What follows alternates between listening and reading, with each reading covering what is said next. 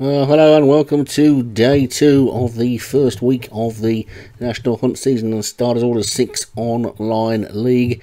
What a thrilling opening night it was last night with some great finishes and some really exciting races. And uh, we've got more of the same hopefully to come today as well. We've got more races from Worcester to start things off. Then we go to Doncaster for some races there with Stu and we finally end the day today, day two, with some races at Towcester in Northamptonshire, where we'll be back on day three as well. So let's get straight on with the action now, then, shall we? At Worcester.